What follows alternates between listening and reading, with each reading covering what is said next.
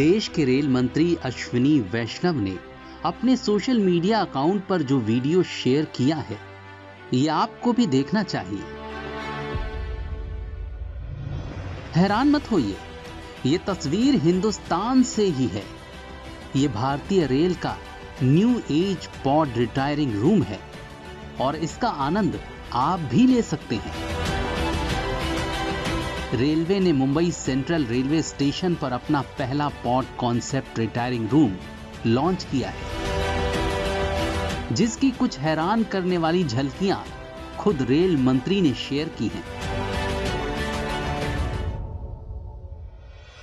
अब समझिए कि पॉड रिटायरिंग रूम क्या होता है। दरअसल बहुत से लोग रेल द्वारा किसी बिज़नेस यात्रा या ज़रूरी काम से दूसरे शहर जाते हैं।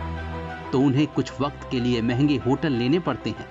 स्टेशन के पास होटल ढूंढना और अच्छा होटल ढूंढना एक चैलेंज रहता है। ऐसे में आप रेलवे के ही आलीशान पॉड होटल अपने शॉर्ट स्टे के लिए बुक कर सकते हैं। इन पॉड में आपको सभी फाइव स्टार सुविधाएँ मिल जाएँगी, जबकि किराया दूसरी जगहों की तुलना में बेहद कम होगा। यात्रा के दौरान अगर आपको ट्रेन चेंज करनी है या फिर आप थकान महसूस कर रहे हैं तो इनमें आप 12 से 24 घंटे तक के लिए ठहर सकते हैं। ये पॉड दो तरह के हैं, क्लासिक और प्राइवेट। यहाँ रुकने का किराया सिर्फ़ नौ सौ से लेकर उन्नीस सौ तक ही होगा।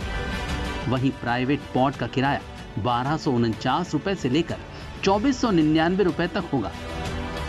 ये रूम एक कंपार्टमेंट की तरह हैं, जिनमें छोटे छोटे बेड लगाए गए हैं। यहाँ मिलने वाली सुविधाओं में शुमार है। फ्री वाईफाई साफ़ सुथरा washroom luggage room shower room common area television और चार्जिंग पॉइंट पढ़ने के लिए रीडिंग लाइट महिलाओं और दिव्यांगों के लिए रेलवे ने स्पेशल पॉट तैयार किए हैं।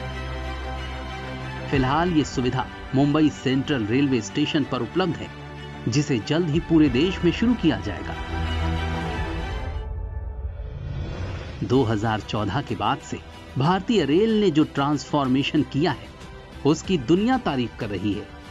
चाहे बुलेट ट्रेन का निर्माण हो, दुनिया का सबसे ऊँचा आर्क रेलवे ब्रिज हो, विस्टाडोम कोच हो, वंदे भारत जैसी ट्रेनें हो वर्ल्ड क्लास रेलवे स्टेशन हो स्पेशल फ्रेट कॉरिडोर हो सिग्नल फ्री होते ट्रैक हो, तेज गति से होता विद्युतीकरण हो, या फिर प्लेटफॉर्म पर साफ़ सफ़ाई हो